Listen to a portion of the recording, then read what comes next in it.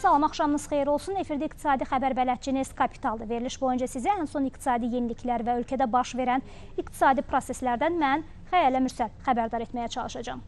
Hər bir ölkədə, o cümlədən Azərbaycanda inkişaf elmin səviyyəsi ilə bağlıdır. Bu sözləri Prezident İlham Əliyev Milli Elmlər Akademiyasının 70 illik yubileyi ilə bağlı çıxışında deyib. Ölkə başçısı alimlərdən ölkənin iqtisadi həyatında baş verən proseslərdə fəal iştirak etməyə xahiş edib.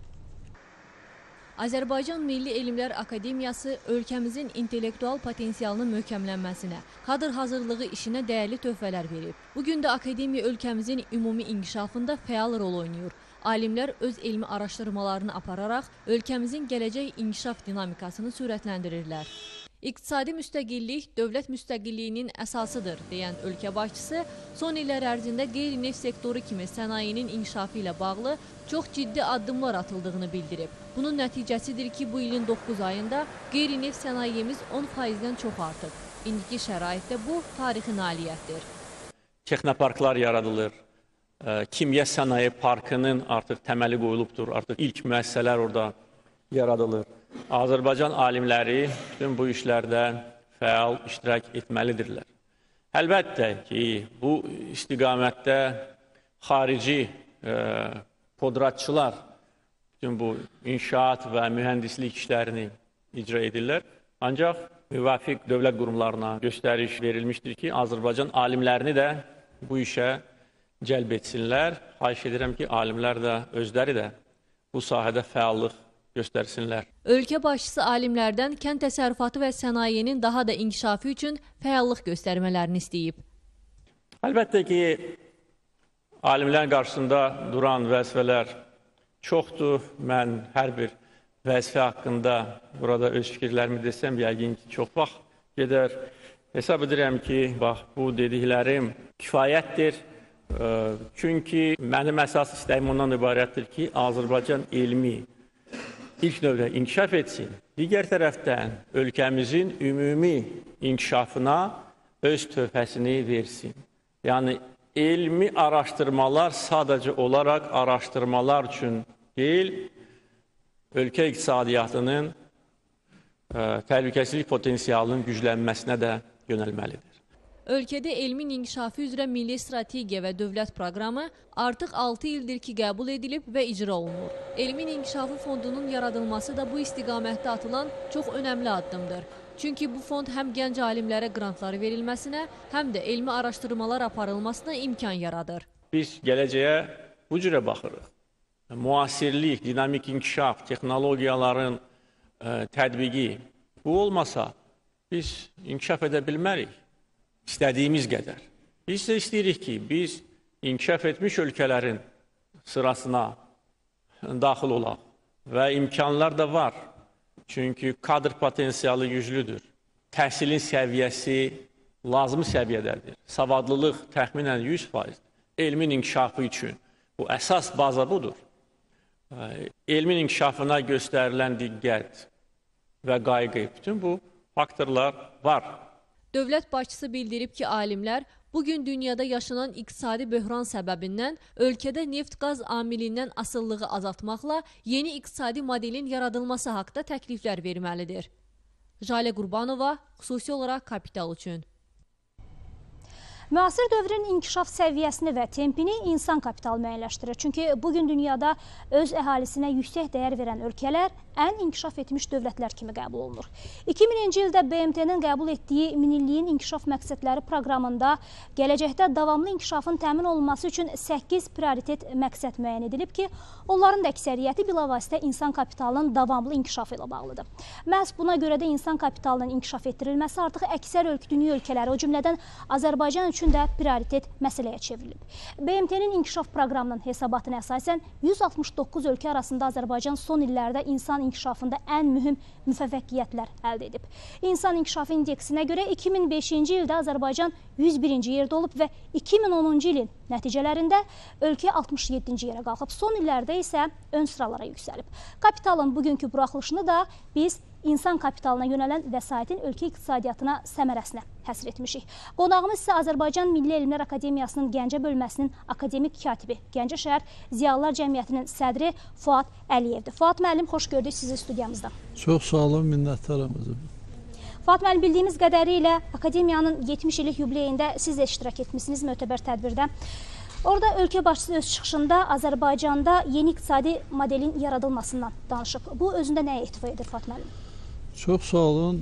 Bəli, Azərbaycan Milli Elmlər Akademiyasının artıq 70 illik yubileyi keçirildi və ölkə prezidenti İlham Əliyev cənabları həmən ümumi yığıncaqda iştirak etdi və orada etdiyi çıxışda Azərbaycanda elm sahəsində görülən işlərin müddəalarını konkret olaraq alimlərə təqdim etdi və bu da siz qeyd etdiyimiz kimi insan kapitalına verilən qiymət və ölkəmizdə son illərdə qeyd etdiyiniz kimi neft kapitalından gələn gəlirlərin əqli mülkiyyətə çevrilməsi və daha çevik sənaye obyektlərinin qurulması nəzərdə tutulur və alınan o gəlirlər yalnız Azərbaycanın elminə, onun inkişafına, gənc kadrların hazırlanmasına, yeni texnologiyaların, cənab prezidentimizin çıxışında da siz gördünüz ki, biz xaricdən yeni texnologiyalar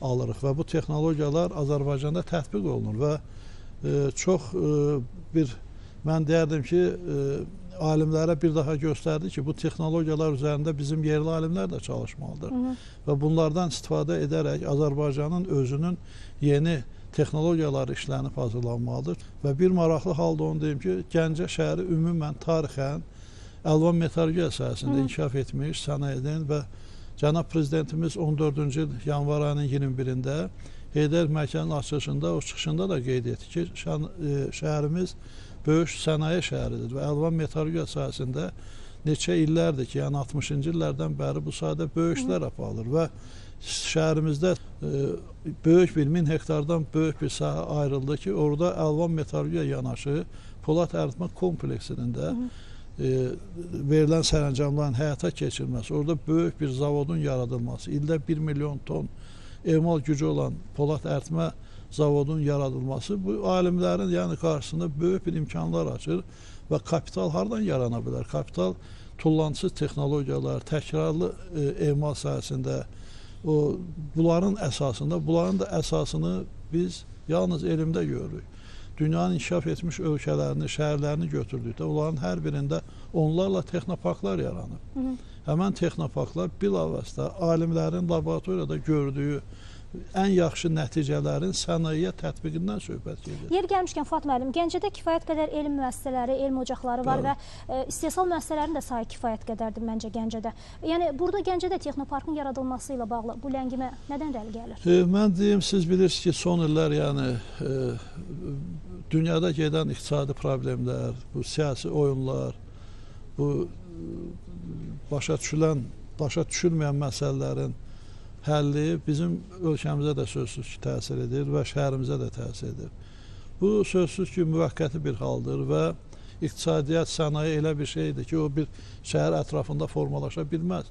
İstehsal yönəlməlidir satışa, başqa istehsal sahələrinə. Ona görə də bu problem müvəqqəti olaraq bütün dünyanı əhatə edir Hı. və hələ çox yaxşı haldır ki, bugün yenə də Azərbaycan müstəqil və dayanıqlı formada öz işini davam etdirir və akademiyada olan görüşdə də cənab prezidentimiz bizə bir daha tapşırdı ki, biz mütləq e, sənaye, aqra sahə ilə birgə alimlər çalışmalıdır və bir də siz fikir verdinizsə, e, kənd təsərrüfatı ili ilə bağlı cənab prezident bir neçə e, bizə öz fikirlərini bildirdi və bizi yönəltdi o sahəyə ki, bugün Azərbaycanın ən vacib sahələrindən də biri yəni ekoloji kənd təsərrüfatı məhsullar hazırlanması üçün Azərbaycanın buna imkanları var, torpaq sahələri var, bizim 9 iqlim qurşunu, qurşağının mövcudluğu var. Bütün bunlar hamısı alimlərimiz tərəfdən kompleks şəkildə analiz olunmalıdır. Xüsusilə süni mayalanma, toxumçuluq sahəsində və s. cənab prezidentimizin bir neçə bildirdiyi iradlar sözsüz ki, bizim bölgədə də həyata keçirilməlidir. Fuat müəllim, bir sualım da olacaq. Bu gün inşaat və mühəndislik işlərini xarici podratçılar icra edir. Bu nədən irəli gəlir? Ölkədə kadr çatışmazlığından irəli gəlir, yoxsa bunu necə izah edə bilərsiniz? Yox, mən deyərdim ki, kadr çatışmazlıqdan deyil. Bu gün bizim xarici podratçıların bura qəbul olunmağı, dəvət olunmağı əsasən ondan ibarətdir ki, bizdə kifayət qədər o materiallar istehsalı dağa qalır. Ancaq xaricdə deyək ki, bu istehsal sahələri geniş inkişaf edib. Həmin podaraşlar öz məhsullarını burada gətirib Hı -hı. istifadə edirlər. Aydındır, bunu da izah edirsiniz. E, Fuat müəllim, bir daha alimlərin məsələsinə qayıdacağam. E, son dövrlər sahibkarların işinə əngəl olanlarla bağlı məsələ aktualdır. Prezident bu istiqamətdə e, müxtəlif tapşırıqlar verib e, və hətta qeyd edib ki, sahibkarların işinə əngəl olanlar cəzalandırılacaq. Alimlərlə bağlı necə? Onların işinə mane olanlar varmı? Bu gün Azərbaycan alimləri Mən deyim ki, Cenevədə o e, xırda hissəçilərin sürətli alınma bir Hı. laboratoriyası var və onlar bildiyiniz kimi Nobel mükafatına layiq görüldülər. O bütün o Cenevrədə olan qrup onun tərkibində Azərbaycanlı alimlərimiz var. Bu gün ə, e, Avropada 34 ölkənin bayrağı asılan o laboratoriyada bir bayraq da Azərbaycanın bayrağıdır. Bu çox böyük nailiyyətimizdir. Gəncə şəhəri 2016-cı il Avropanın gənclər paytaxtıdır. Və 16-cı ildə Allah qoysa Avropanın bütün Hı -hı. gənc alimlərini biz istəyirik ki, Gəncə şəhərinə toplayaq. Burada gənc alimlər Avropanın həm Gəncənin reallığını görsünlər, həm burada işləyən alimləri görsünlər. Mən deyim ki, bu gün Gəncə alimlərinin 200-ə yaxın əsəri indeksasiya olunmuş Avropa jurnallarında çap olunur. Hı -hı. Bu elə belə deyil. Bunlar e, alimlər tərəfindən qəbul olunur ki, nəşrə verilir. Gənclərə prosto şərait yaratmaq lazımdır. Onlara imkan, onların qabağını almaq yox, onlara düzgün yol göstərilərsə, onlar çox böyük nailiyyətlər əldə edə bilərlər. Bizim gənclərimiz çox savadlı, bacarıqlı, dövlətini, millətini sevən gənclərdir. Ancaq onlara gərək bizi kimi dəstək. ağsaqqallar, alimlər dəstək olsun, yol göstərsin və düz yola yönətsinlər ki, onlar da nəticələr versin. Aydındır. Çox sağ olun Fatma müəllim. Təşəkkür Buyurun. edirik qonağımız olduğunuz üçün minnətdaram, çox sağ olun. Çox aktual problemdir. Mən arzu edərdim ki, şəhərimizdəki alimlər tez-tez dəvət olunsun. Gənclərlə bir yerdə, elə gənclərlə dialoq formasında bu kapital verilişini davam etdirəsiniz. Sağ olun. Xatırladaq ki, qonağımız Azərbaycan Milli Elmlər Akademiyasının Gəncə bölməsinin direktoru, Gəncə Şəhər Ziyalılar Cəmiyyətinin sədri akademik Fuad Əliyevidir. O, bizə alimlərin ölkə iqtisadiyyatına verməli olduğu töhfələr, bu istiqamətdə atılan addımlar, yüksək ixtisaslı kadrların hazırlanması, kadrların peşəkarlıq səviyyəsinin artırılması üçün elmə yatırılan vəsaitin məhsul olaraq geri qayıtması, elmlə məşğul olan şəxslərə yaradılan şərait barədə ətraflı məlumatlar verdi. Verilişimiz sizə davam edir. 2012-ci ildə elm xərclərinə 122 milyon 600 min manat vəsait ayrılıb. Bir öncəki il üçün bu məqsədlə ayrılan vəsaitin məbləği 129 milyon 100 min manat. 2014-cü ildə 146 milyon 800 min manat, cari il üçün 142 milyon 500 min manat təşkil edib. Son 4 ildə dövlət büdcəsində elm xərclərinin xüsusi çəkisi 7% olub, amma 2016-cı ildə elm üçün proqnozlaşdırılan vəsaitin həcmi 131 milyon 700 min manat nəzərdə tutulub və bunun da dövlət büdcəsi xərclərində xüsusi çəkisi 0,8% təşkil edir. Göründüyü kimi gələn il üçün dövlət büdcəsindən elmi ayırmalar əvvəlki illərdən həm məbləğ, həm də büdcə xərclərindəki payı ilə fərqlənir. Məbləğin bu və ötən ildə nəzərdə tutulandan az olmasına baxmayaraq, ümumi büdcə xərclərində 0,1% bənd çox olması elmdə bir çox mütərəqqi texnologiyaların tətbiqinə səbəb olacaq. Şəki Regional Elmi Mərkəzində qarşıya 2015-2020-ci illəri əhatə edən mühüm bir vəzifə qoyulub. Bu, şimal-qərb bölgəsində termal çayların mineral tərkibinin, o cümlədən dağ çaylarının gətirdiyi lillərin araşdırılması və müalicə məqsədi ilə istifadə olunmasından ibarətdir. Daha ətraflı növbəti sujetdə. Qaxın İlisu, Oğuzun Xalxal, Qəbələnin Qəmərvan kəndlərində müalicəvi əhəmiyyətli mineral və termal sular dəri və revmatizm kimi bir sıra xəstəliklərin müalicəsində əhəmiyyətli rola malikdir. Hazırda Şəki Regional Elmi Mərkəzinin mütəxəssisləri bu suların tərkibini öyrənir və ondan landşafa uyğun dərman bitkiləri ilə sintez olunaraq faydalı istifadə imkanlarını araşdırırlar. Tədqiqatların iqtisadi səmərəsinə gəlincə, bu ərazilərdə müalicə sanatoriyaları qurulmaqla yerli və xarici turistlərin bölgəyə axınına təkan vermək olar öyrənilsə, əgər bunun effekti deyək ki, yetərincə olsa və yaxud da dünya bazarına çıxış da mümkün olsa, təbii ki, xaricdən də gələ bilərlər. E, bunun üçün rekreasiya şəraiti bizdə olduqca e, deyək ki, müvafiqdir.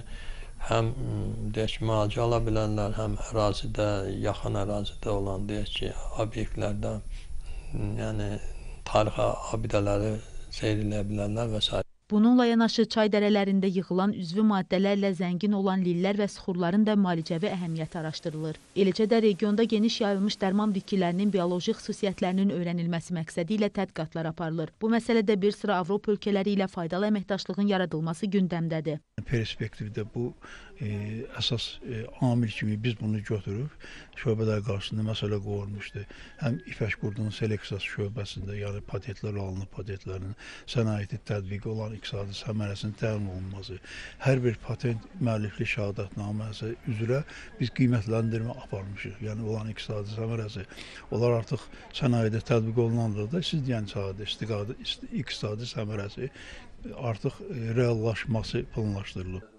Bundan əlavə müxtəlif meyvə bitki sortlarının sənayedə tətbiqi böyük iqtisadi perspektivlər vəd edir. Hazırda Şəki Regional Elmi Mərkəz elmi araşdırmaların sənaye və istehsalatda tətbiqi, onların iqtisadi səmərəsinin təmin edilməsi istiqamətində çoxsaylı tədqiqatlarını davam etdirir. Pərvanə Mustafayeva, Sahib Mehdiyev, xüsusi olaraq Kapital üçün. Dövlət başçısı Azərbaycan Milli Elmlər Akademiyasındakı çıxışında elmi araşdırmalar sadəcə olaraq araşdırmalar üçün deyil, ölkə iqtisadiyyatının təhlükəsizlik potensialının güclənməsinə yönəlməlidir, deyib. Biz də Kapital komandası olaraq belə araşdırmalardan birini işıqlandırmaq qərarına gəldik. Azərbaycan Dövlət Aqrar Universitetinin professoru Siyasət Məmmədov iki əhəmiyyətli layihənin müəllifidir. Bunlardan biri alternativ enerji mənbələri hesabına işləyən traktordur. Daxili yanma mühərriki olmayacaq. Bunun benzinə, solyarkaya və digər yanacaqlara ehtiyac olmayacaq. Bunun daxilində həm akkumulyatorlar olacaq, həm də üzərində e, panellər ola, olacaq. Bu panellər hesabına enerji toplanacaq, kondensatorlarda o yığılacaq, istənilən vaxtı ondan istifadə ediləcək. Kiçik güc tələb edilən yerdə böyük güclü traktorlardan istifadə olunması iqtisadi cəhətdən səmərəsizdir. Belə qurğuların, belə traktorların istifadəsi fermerlərə çox yaxşı kömək göstərəcək və onların iqtisadi vəziyyətinə, yəni məhsulun maya dəyərinin aşağı olmasına xidmət edəcək. Qeyd edək ki, analoji traktorlar Yaponlar tərəfindən də işlənilib, amma Azərbaycan aliminin layihəsi daha üstündür. Çünki Yapon mühərriki trolleybus və tramvaylarda olduğu kimi dəmir yolu, yəni kontakt şəbəkə hesabına hərəkət etdiyi halda alimin patent alaraq müəllif hüququna sahib olduğu traktor sərbəst şəkildə istənilən ərazidə işləyə bilir. Təqdim olunan layihə alternativ enerji mənbələri üzrə Dövlət Agentliyində müsbət qarşılanaraq mexaniki vasitənin Gəncə avtomobil zavodunda yığılması qərarı verilib.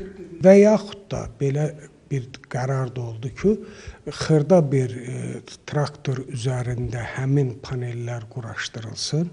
Layihədə nəzərdə tutulduğu kimi onun komplektasiyası alternativ enerji mənbələri üzrə Dövlət Agentliyi tərəfindən yerinə yetirilsin, ödənilsin.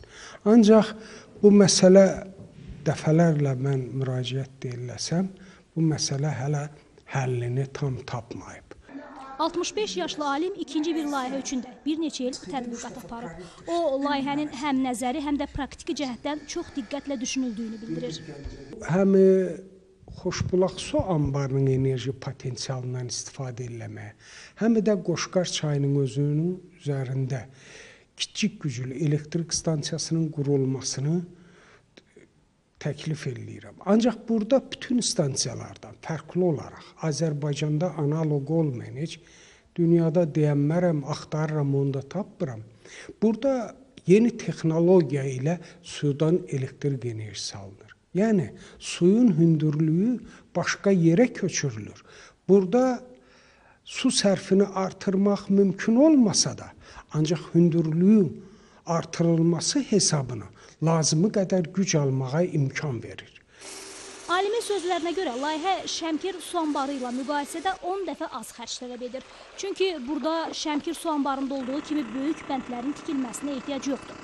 Müəllif hesab edir ki, Daşkəsən rayonunun 70% elektrik enerjisini bu layihə hesabına təmin etmək olar. Gəncədən Daşkəsənə enerjini ötürmək üçün itki yaranır. 1. İkincisi xəttlər istismar olunur, istismar xərcləri var. Bunun hamısı kənara atılır. Həm də bu stansiya günəş və külək enerjiləri ilə paralel işləyəcək. Bunda stansiyanın dayanıqlığı, elektrik tərəbeyicilərinin etibarlılığı və enerjinin keyfiyyət göstəricisinin yüksəlməsinə nail olunacaq.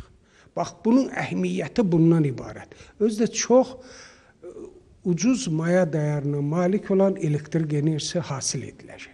Alternativ enerji mənbələri üzrə Dövlət Agentliyinin ikinci layihəyə də reaksiyası müsbət olub və qurum qərara alıb ki, layihənin texniki əsaslandırılması işlənsin, eləcə də maliyyə mənbəyi müəyyən edilsin. Amma nəticə yoxdur. Ölkədə aqrar sahədə fəaliyyət göstərən 13 elmi tədqiqat institutunda islahatlar aparılıb. Komplektləşdirilmədən sonra bu kimi institutların sayı 8 endirilib. Qarşıdakı sujetdə bu elmi tədqiqat ocaqlarında əldə edilən nailiyyətlər və bu nailiyyətlərin iqtisadi səmərəsindən xəbər verəcək.